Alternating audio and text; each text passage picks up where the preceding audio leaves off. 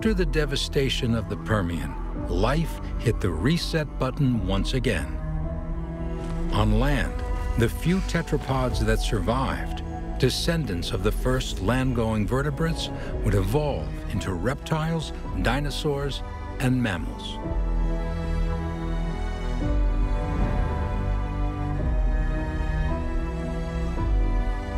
Millions of years later, by the start of the Triassic, the branches of the tree of life are once again blossoming.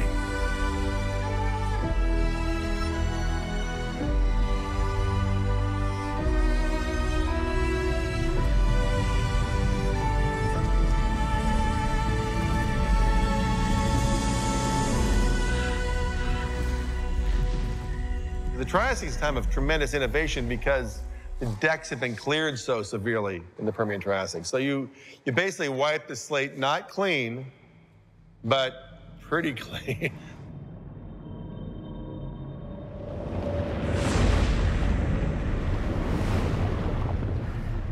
the Triassic is this really crazy place where these things now radiate again into this, all these different kinds of shapes and forms.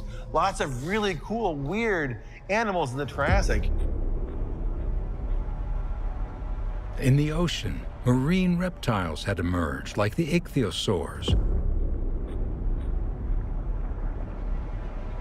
which roamed the seas hunting fish and squid.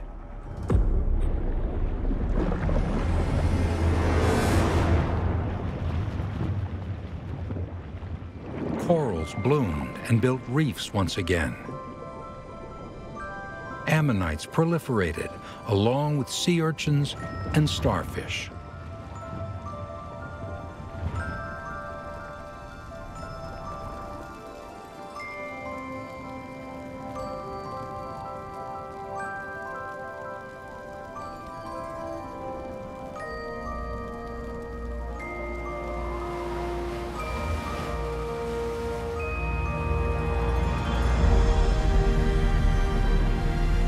In the skies above, the first flying reptiles, called pterosaurs, beat their huge wings.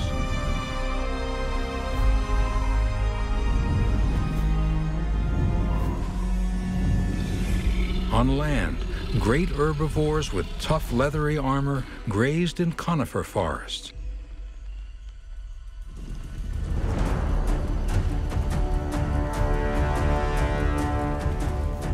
Their defensive carapace hints at the presence of fearsome predators, like the agile Coelophysis, which probably hunted in packs.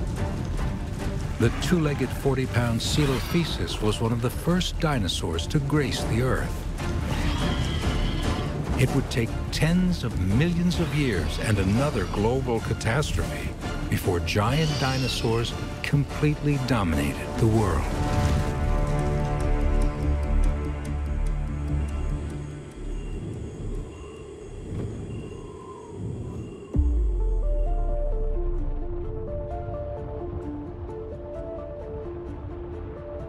Some 200 million years ago, Europe and Africa tore away from the American continent, forming the Atlantic Ocean.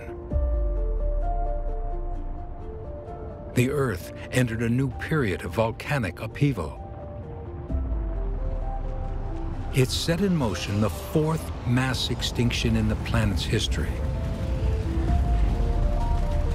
wiping out three quarters of land-dwelling species 96% of ocean species. The great Permian experiment lay in ruins. But once again, life would rise like a phoenix from the ashes. The dinosaurs survive.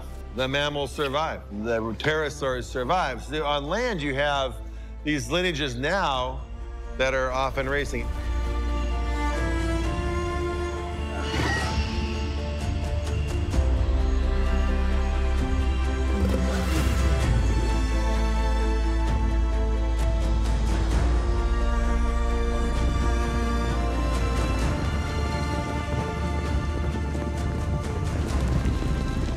In the highlands of central South Africa, the rocks preserve a record of this renaissance. and a world dominated by some of the most massive animals that ever existed. The mega dinosaurs.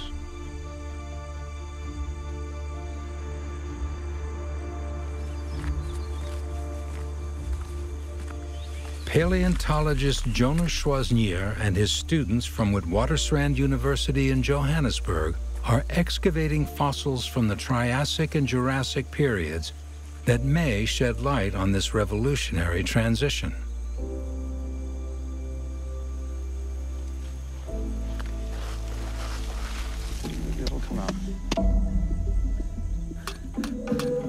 While his students extract a fossil from the Triassic, Jonah goes in search of sediments from the Jurassic.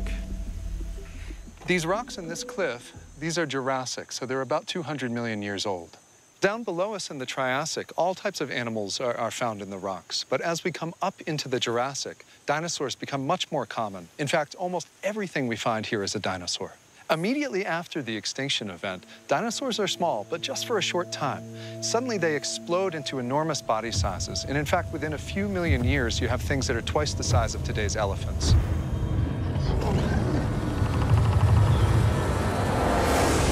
In the Triassic, it's anyone's game, but as soon as we get into the Jurassic, it's clear that dinosaurs are the winners of the day.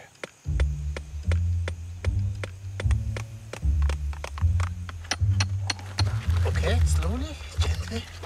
One, two, three. Guys, okay? Hey, guys. Hey, Hi. just in time. Oh, you flipped it. Fantastic. Yeah. Okay, we've taken bigger ones down before. Okay, are you ready? On yep. three, two, three.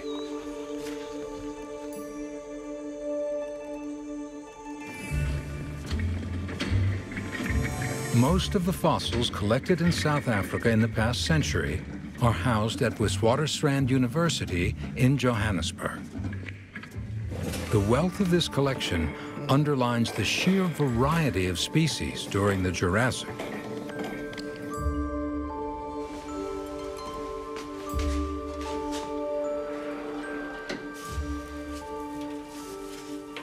The fossils on these shelves are the bones of Ledumahadi mafube, a giant dinosaur from South Africa, which lived in the Jurassic period about 200 million years ago. And this is the foot bone of Ledumahadi mafube. This is the only known specimen of Ledumahadi, and we've been looking in South Africa for well over 150 years for dinosaurs. The name Ledumahadi means a giant thunderclap, and Mafube, which is the species name, means dawn. So together, it's a Sesotho term, meaning a giant thunderclap at dawn. We can tell from these bones that this animal weighed about 12 tons. And that's amazing because it shows that dinosaurs soon after the end Triassic extinction were able to rebound and attain enormous sizes.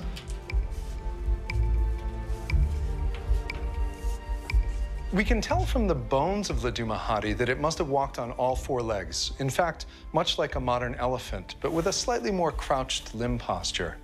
This type of dinosaur is a sauropodomorph, and we know that they had long necks and tiny heads, and giant bodies where they would have fermented the food they swallowed whole.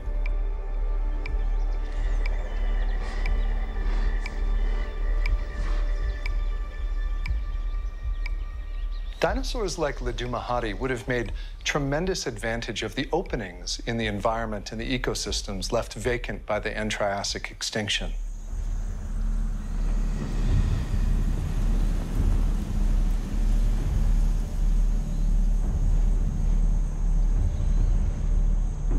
After life was almost wiped out in the Permian, fascinating new creatures emerged on the stage.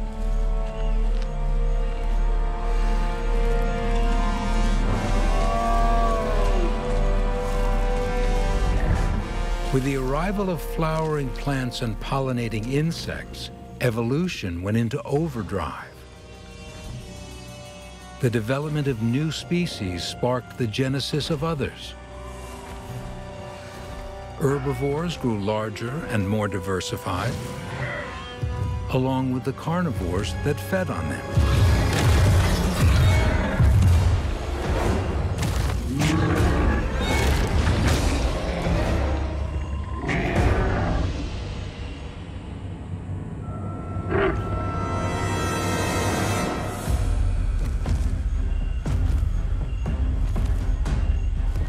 These gigantic sauropods were the biggest land animals that have ever lived. Some of them as much as 100 feet long, 20 feet tall, up to 88 tons. These massive, incredible animals. During the Cretaceous, evolution went to extremes. The jaw of the T-Rex exerted so much force, it could crush the bones of its prey and swallow them whole.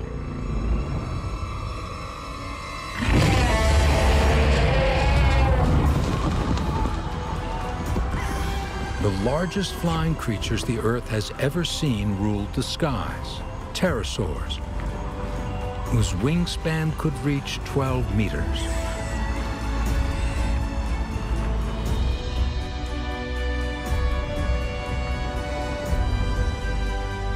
And in the oceans, creatures also grew immense, like Plesiosaurus, a ferocious predator. And then there was the mosasaur, a reptile that grew up to 18 meters.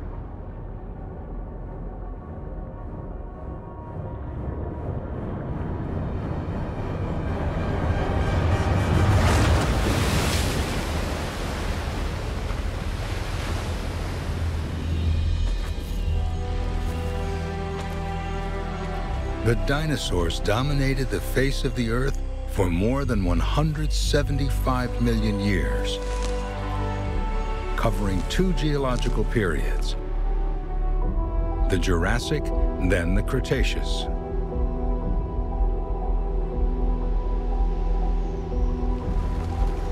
Today, their only descendants are birds. Once again, a cataclysm shook the planet and brought the giants low.